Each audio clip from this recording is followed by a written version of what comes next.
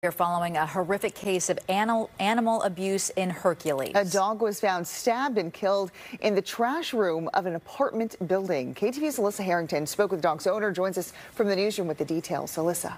Well, the dog's owner said she wants to raise awareness to warn other pet owners who live in that area. He really was a good dog and did not deserve this at all. Fia Loa from Sacramento shared these videos with her dog Gemini, who she had raised since he was a puppy. Roll over, roll over, good boy. Thursday, the three year old American Pit Bull Terrier was found dead, apparently stabbed and beaten, and put in a garbage bin at an apartment building in Hercules. He was punctured twice in his torso area um, with it, what seems to be like a kitchen knife.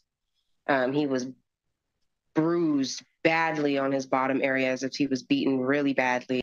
This happened at the Exchange Hercules Bayfront apartments. Loa said Gemini had been in the care of her friend there for the past few months. She said a door was left open and the dog got out.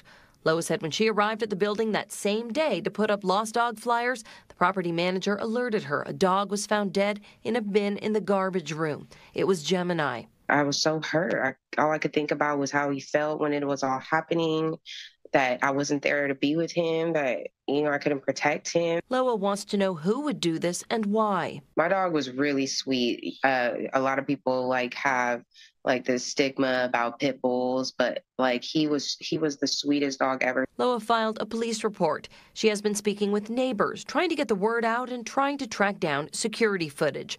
Most of all, she wants to get justice for Gemini. The community has been behind my back 100%, trying to help me figure out who this is.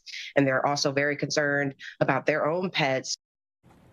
I reached out to the investigator on this case at the Hercules Police Department, but have not yet heard back. Reporting live in the newsroom, I'm Alyssa Harrington, KTVU Fox 2 News. Alyssa, thank you.